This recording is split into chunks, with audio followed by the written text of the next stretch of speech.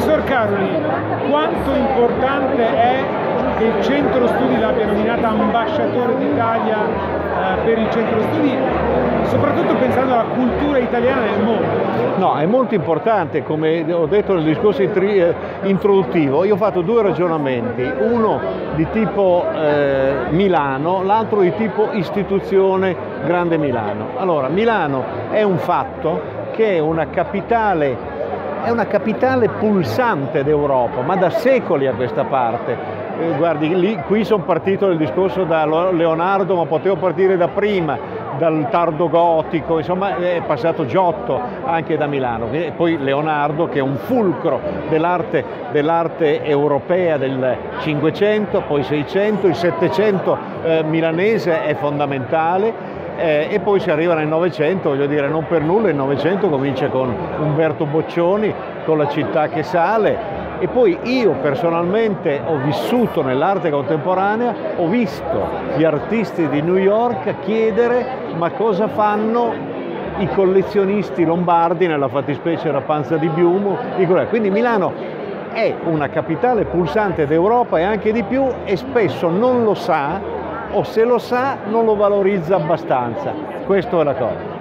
E poi c'è il discorso Grande Milano, che è un'istituzione molto rara in Italia, rarissima, che assomiglia a certe a un tipo di eh, istituzione anglosassone, inglese e soprattutto americana, cioè un gruppo forte di privati che eh, agisce all'interno della società. Allora, lei mette insieme, scusi, chiudo, lei mette insieme l'importanza storica di Milano, l'importanza della grande Milano, il fatto che mi fanno ambasciatore, cioè mi invitano a dialogare nel mondo, io sono servito, più contento di così non potevo essere. Professore, le chiedo, non so se lei ha visto la mostra di Caravaggio a Palazzo Reale. Certo, ne ho parlato io in televisione. L'ho trovata una delle più belle mostre che io abbia mai sì, visto tutta la mia vita. È una mostra molto seria, è una mostra seria, eh, in cui prima cosa tutti, qua, tutti Caravaggio sono veramente Caravaggio. È una mostra seria, quindi... E sì. soprattutto c'è questa indagine sullo stile di pittura Esatto, attraverso... quello è un ordine di problemi, di indagini che si è avviato negli ultimi vent'anni, grosso modo.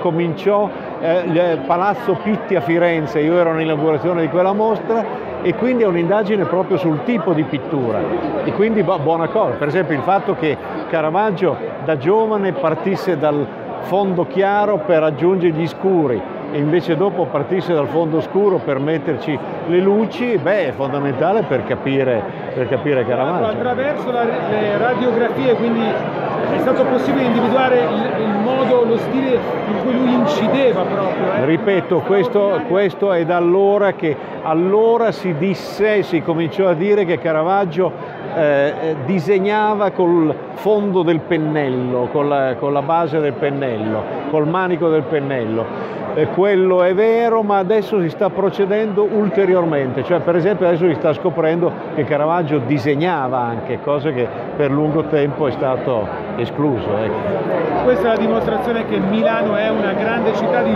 di valore internazionale.